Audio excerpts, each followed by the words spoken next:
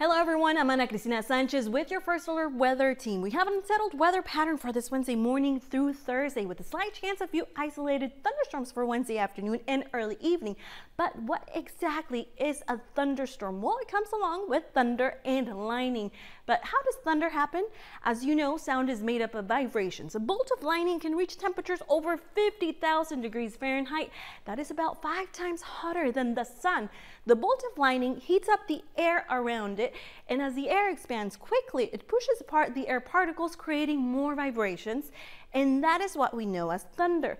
Light travels much faster than the sound, so when you see lightning, count the number of seconds until you hear the thunder, and for every five seconds, The storm is one mile Así es, como se los he mencionado, Teledoppler 20 es el único radar que está funcionando dentro del condado de San Diego y solamente lo puede encontrar aquí por Telemundo 20. Ahora, la manera que este radar funciona es que tenemos la esfera. Dentro de la esfera hay un satélite que normalmente está girando y también enviando pulsos de radiación hacia la precipitación. Si bien este recuerda el río atmosférico que afectó al sur de California, ahora lo veremos de tal manera que nos va a ayudar a mejorar nuestros pronósticos. Además, tiene otra herramienta conocida como GLM en sus, por sus siglas en inglés, es el lector geoestacionario de relámpagos. Podremos ver los relámpagos en tiempo real a través de las nubes mientras ocurren las tormentas. Ahora voy a avanzar. Sin embargo, si tiene planes fuera de casa, tome en cuenta que el nivel de los alérgenos se mantendrá en el rango medio a alto. Esto es sábado, domingo, incluso para lunes, debido a las condiciones más secas, que con esto también le doy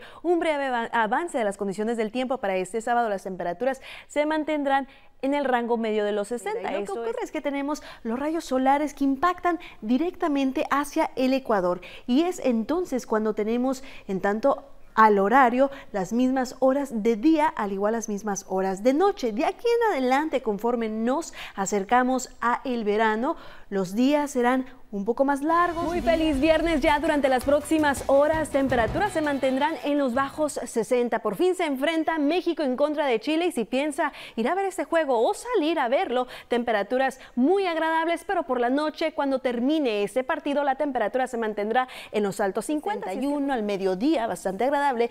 Ojo que el juego de mañana es pasaditas de las 7, lo que significa que las temperaturas estarán un poco más frescas ya, cerca del mediodía, alrededor de los 70 grados y pasando al mediodía alcanzando 73, a eso de las 2 de la tarde y a las 5 nada mal, 72 grados, así es que si piensa disfrutar fuera de casa, este domingo se va a lucir espectacular, pero hay descenso en temperaturas en camino y hasta lluvia. Le tengo más con el pronóstico extendido.